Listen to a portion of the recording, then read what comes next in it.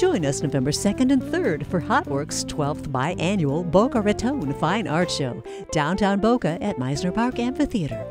Voted in America's top 100 art shows, this juried event features professional artists selling their original and personally handmade art. Something for everyone in all media in all price ranges. Saturday and Sunday, 10 to 5 daily.